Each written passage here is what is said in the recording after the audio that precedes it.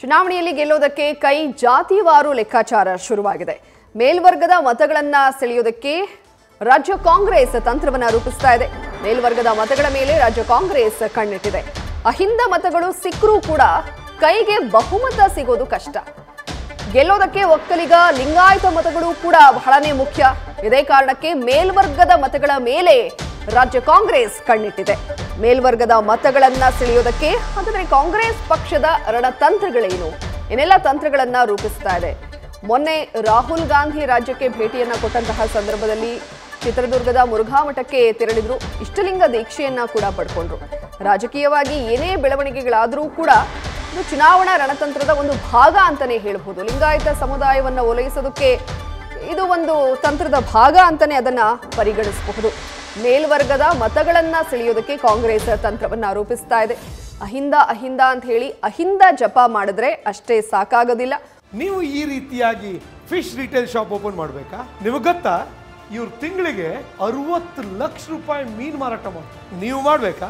ಮತ್ತೆ ಆಗ್ತಡ ಫ್ರೀಡಮ್ ಆ್ಯಪನ್ನು ಈಗಲೇ ಡೌನ್ಲೋಡ್ ಒಕ್ಕಲಿಗ ಲಿಂಗಾಯತ ಮತಗಳನ್ನು ಕೂಡ ನಾವು ಕ್ರೋಢೀಕರಿಸಬೇಕು ಅನ್ನೋದು ಕಾಂಗ್ರೆಸ್ನ ಪ್ಲಾನ್ ಹಾಗಾದ್ರೆ ಕಾಂಗ್ರೆಸ್ನ ರಣತಂತ್ರಗಳೇನು ಡೀಟೇಲ್ಸ್ ಕೊಡ್ತಾರೆ? ನಮ್ಮ ಪ್ರತಿನಿಧಿ ಹರೀಶ್. ಹರೀಶ್ ಮೇಲ್ವರ್ಗದ ಮತಗಳನ್ನ ಸೆಳೆಯೋದಕ್ಕೆ ಕಾಂಗ್ರೆಸ್ ಪಕ್ಷ ಮಾಡಿರುವಂತಹ ತಂತ್ರಗಳೇನು? ಜೊತೆಗೆ ರಾಹುಲ್ ಗಾಂಧಿ ಬಂದಾಗ ಮೊನ್ನೆ ಚಿತ್ರದುರ್ಗದ ಮುರುಘಾ ಮಠಕ್ಕೆ ತೆರಳಿ ಇಷ್ಟಲಿಂಗ ದೀಕ್ಷೆಯನ್ನ ಪಡ್ಕೊಂಡ್ರು. ಲಿಂಗಾಯತ ಸಮುದಾಯವನ್ನ ಓಲೈಸುವ ತಂತ್ರದ ಒಂದು ಭಾಗನ ಅದು ಅನ್ನೋ ಒಂದು ಪ್ರಶ್ನೆ ಮೂಡೋದು ಕೂಡ ಸಹಜ.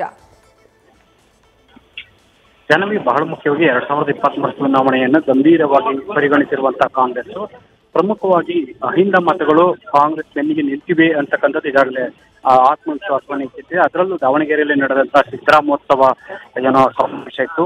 ಅಲ್ಲಿ ಅಹಿಂದ ಮತಗಳು ಪಕ್ಷದ ಬೆನ್ನಿಗೆ ನಿಲ್ಲಿವೆ ಅಂತಕ್ಕಂಥ ಒಂದು ಬಲವಾದ ವಿಶ್ವಾಸ ಈಗ ಮೂಡಿರುವಂಥದ್ದು. ಅದೇ ಕಾರಣಕ್ಕೆ ಅಹಿಂದ ಮತಗಳು ಹೇಗಿದ್ರು ಕಾಂಗ್ರೆಸ್ ಬೆನ್ನಿಗೆ ನಿಲ್ತವೆ. ಉಳಿದಂತೆ ಮೇಲುವರ್ಗದ್ದು ಕೂಡ ಬಹಳ ಮುಖ್ಯವಾಗಿದೆ ಅಂತಕ್ಕಂಥ ಒಂದು ಲೆಕ್ಕಾಚಾರ ಇದೆ. ಬಹುಮತ ಸಿಗಬೇಕು ಅಂತ ಪಕ್ಷದಲ್ಲಿ ಕೇವಲ ಅಹಿಂದ ಮತಗಳನ್ನ ನಂಬಿಕೊಂಡ್ರೆ ಸಾಕಾಗೋದಿಲ್ಲ ಮೇಲ್ವರ್ಗದ ಮತಗಳು ಕೂಡ ಬಹಳ ಮುಖ್ಯ ಅಂತಕ್ಕಂಥ ಲೆಕ್ಕಾಚಾರ ಕಾಂಗ್ರೆಸ್ನಲ್ಲಿ ಇರುತ್ತದೆ ಹಾಗಾಗಿ ಲಿಂಗಾಯತ ಮತ್ತು ಒಕ್ಕಲಿಗ ಸಮುದಾಯದ ಮತಗಳನ್ನ ಸೆಳೆಯುವಂತ ಲೆಕ್ಕಾಚಾರದ ಭಾಗವಾಗಿ ಈಗಾಗಲೇ ಕಾಂಗ್ರೆಸ್ ನಾಯಕರು ಒಂದು ತಂತ್ರವನ್ನ ರೂಪಿಸಿದ್ದಾರೆ ಅಂತ ಹೇಳಲಾಗ್ತಿದೆ.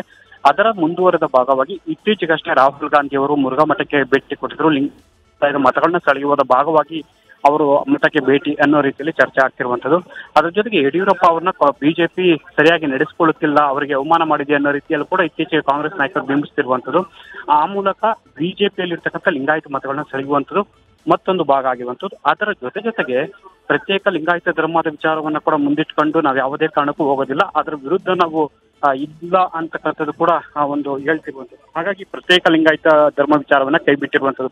ಈ ಎಲ್ಲಾ ಸಂದೇಶವನ್ನ ಲಿಂಗಾಯತ ಸಮುದಾಯಕ್ಕೆ ಸಂಬಂಧಪಟ್ಟಂಗೆ ತಲುಪಿಸುವಂತ ಒಂದು ಪ್ರಯತ್ನ ಮಾಡಿರುವಂಥದ್ದು ಒಂದಾದ್ರೆ, ಮತ್ತೊಂದು ಒಕ್ಕಲಿಗ ಸಮುದಾಯ, ಹಳೆ ಮೈಸೂರು ಭಾಗದಲ್ಲಿ ಎಂಬತ್ತೊಂಬತ್ತು ಕ್ಷೇತ್ರಗಳಲ್ಲಿ ಒಕ್ಕಲಿಗ ಮತಗಳೇ ನಿರ್ಣಾಯಕ. ಹಾಗಾಗಿ ಡಿ ಕೆ ಶಿವಕುಮಾರ್ ಹೇಗಿದ್ರು ಒಕ್ಕಲಿಗ ಸಮುದಾಯದ ನಾಯಕ ಜೆಡಿಎಸ್ ಬೆನ್ನಿಗೆ ನಿಂತಿರತಕ್ಕಂಥ ಮತಗಳನ್ನು ಸೆಳೆಯುವ ಸಲುವಾಗಿ ಡಿ ಕೆ ಶಿವಕುಮಾರ್ ಮೂಲಕ ಆ ಒಂದು ತಂತ್ರಕ್ಕೆ ಕೈ ಹಾಕಿರುವಂತದ್ದು ಜಾನ ಅಂದ್ರೆ ಈಗ ಬಿ ಎಸ್ ವೈ ರವರನ್ನ ಕೆಳಗಿಳಿಸಿದ್ದಾರೆ. ಸೊ ಅದನ್ನ ಇವರು ತಂತ್ರದ ಒಂದು ಭಾಗವಾಗಿ ಬಳಸ್ಕೊಳ್ಳೋದಕ್ಕೆ ಯಾವ ರೀತಿಯಾಗಿ ಸಜ್ಜಾಗಿದ್ದಾರೆ?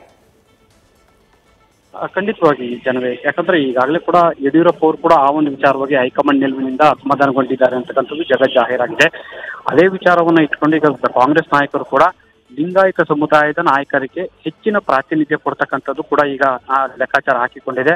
ಅಂದ್ರೆ ಎಂ ಬಿ ಪಾಟೀಲ್ ಆಗಿರ್ಬೋದು ಬೇರೆ ಬೇರೆ ನಾಯಕರು ಯಾರಿದ್ದಾರೆ ಲಿಂಗಾಯತ ಸಮುದಾಯದ ನಾಯಕರು.